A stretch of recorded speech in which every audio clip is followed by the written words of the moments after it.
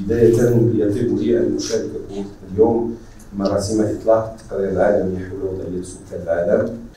اليوم بمناسبة إطلاق التقرير العالمي حول وضعية السكان في العالم لسنة 2023 آه، نسجل انخراط المملكة في الديناميات السكانية العالمية الضامنة للحقوق المرتبطة بالأمومة ورعاية الأطفال والأبوة الإيجابية. في هذا الإطار نسجل آه، اتخاذ مجموعة من الإجراءات الحكومية في ظل الورش الملكي آه، للدولة الاجتماعية واللي كتجسد أساسا عن طريق إقرار رخصة عن الأبوة.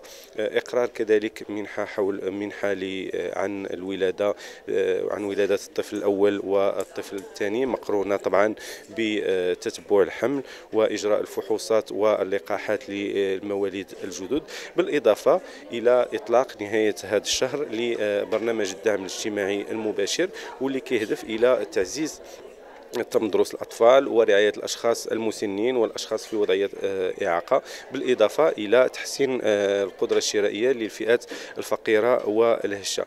طبعا آه، في ظل هذا السياق لا يمكن كذلك إلا أن نتمن الورش الملكي للحماية الاجتماعية واللي كيهدف بشقيه الإجباري والتضامني للتغطية الصحية بالإضافة إلى إرساء السجل الوطني للسكان والسجل الاجتماعي الموحد الاتحاد لا يمكن إلا أن نتمن هذه الدينامية والتي تساهم في مواكبة آه، التحولات السكانية اللي كتعرفها بلادنا. وستمكن المغرب في المستقبل من آه، التحكم في تداعيات الانتقال آه، الديموغرافي والاستثمار في الأجيال الصاعدة.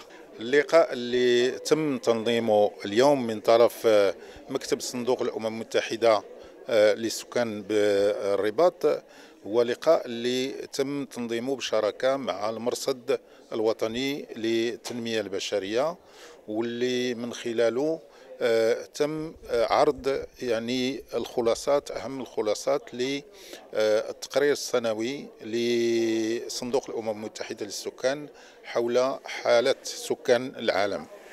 اللي كتعرفوا هو أنه السنة الماضية وبالضبط في 15 نوفمبر 2022 تجاوز عدد سكان العالم 8 مليارات. فتقرير هذه السنة خدا كموضوع هو التحديات اللي كطرحها هذا الرقم القياسي اللي وصل ليه عدد سكان العالم. وكانت فرصة لنقاش أهم التحديات آه، اللي كتطرح على ميادين عدة منها الاجتماعية الاقتصادية آه، البيئية آه، كإشكال إدماج الشباب أو الشيخوخة أو الهجرة أو التغيرات المناخية.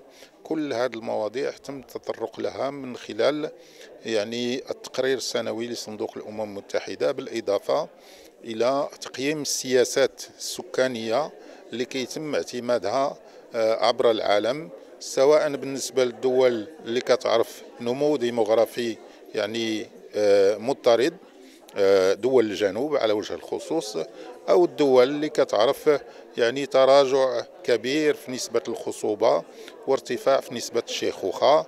وتراجع في عدد السكان اللي هي دول أغلبها دول الشمال. فتقرير يعمل على تقييم هذه السياسات السكانية وتخرج بالخلاصة أنه آه، العدد لا يهم الذي يهم هو يعني تلبية الحاجيات والحقوق ديال السكان آه، آه، الأساسية.